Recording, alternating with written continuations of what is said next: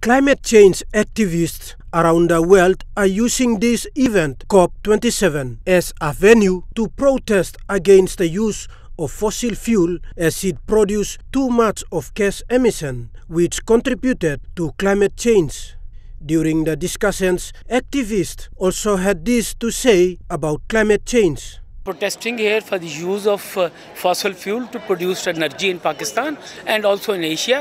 We are here to protest produ production of electricity by coal, oil and gas and we are demanding that they should stop using of fossil fuel and we are also demanding cancel the Pakistan debt and also pay reparations and reparations should be used for the compensation and rehabilitation of the flood, flood victims. We're protesting today because big industries, big corporations and government leaders, like today for example, Joe Biden is landing and he's part of one of the biggest industries, uh, one of the biggest countries of polluters.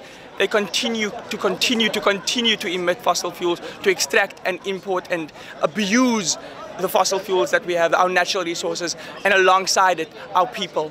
My message to the world leaders is to stop investing dirty energies in Africa. Africa is not a dumpster.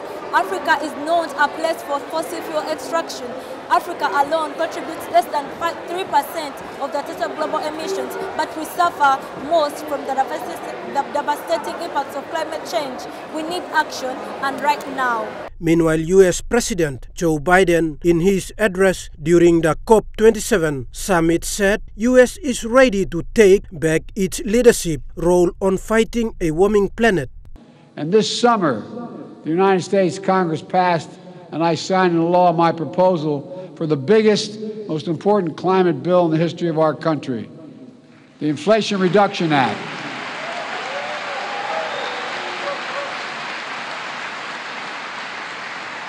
It includes less than I asked for, but a significant amount $368 billion to support clean, electric, clean electric, electricity, everything from onshore, offshore wind to, to distributed solar, zero emissions vehicles, and sustainable aviation fuels, more efficient electrified buildings, cleaner industrial processes and manufacturing climate smart agriculture and forestry, and more.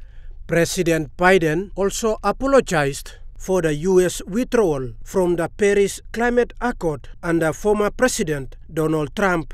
The COP27 summit in Egypt, which began on the 6th of November, will end this week Friday, 18th November.